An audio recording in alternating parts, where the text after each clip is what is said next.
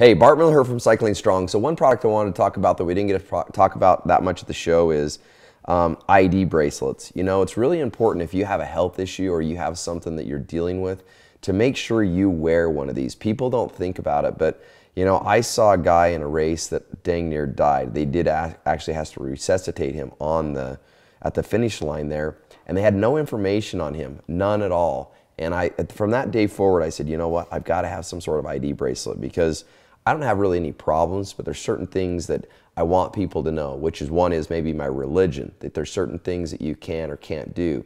There can be all sorts of other information besides health things that you would wear an ID bracelet for. But if you have a health issue, it's super important that you have this on, especially in a, an event like that or out riding your bike, so that you can be taken care of immediately and they know exactly how to help you. Because if they have to go find that information out, it slows them down. So I just thought this is a really cool one. Uh, MyID was the one that we picked up. We thought we'd give a shout out to and uh, try to see how they work. I haven't gone through the full process, but packaging was really good. I like the design of it. I like how it fits. I like the different colors that they do it in.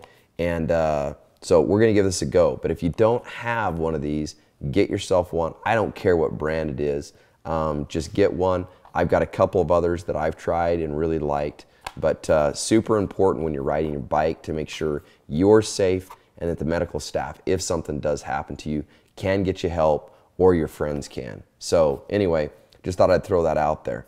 Uh, get out there, keep cycling strong, have fun today, and keep riding your bike.